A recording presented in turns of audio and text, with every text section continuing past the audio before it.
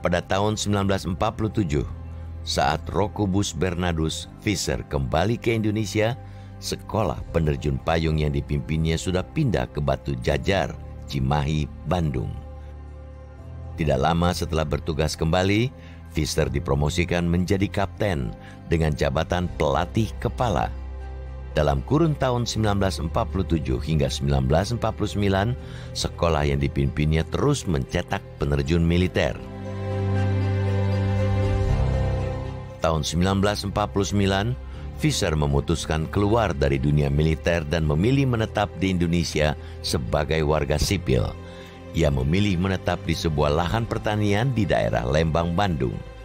Sejak itu, Fischer masuk Islam dan dikenal dengan Muhammad Ijon Janbi.